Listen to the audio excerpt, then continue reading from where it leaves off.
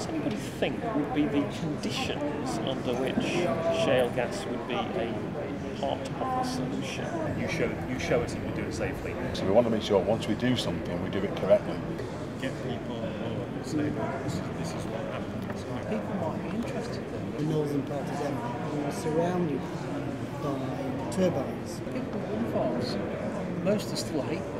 Didn't notice any noise or anything. One of the first frac sites was actually down in Suffolk. They put Marmite down there. Marmite? Hmm. Anything to do with minerals or extraction is a counter. Why Marmite? Because all the bugs basically ate the Marmite. Swell. To frac them. Seriously? We do need to know how people feel and what they hmm. think. You had your opportunity to say, to say in your area where you think development was going to and I, we thought that was quite important. Because we can't really explain if you don't know where they're coming from. The problem is about five people turned up. financial incentives, but there was also the technological uh, footprint was there. uh, and the HSE or the HSE determine likewise from a health and safety perspective.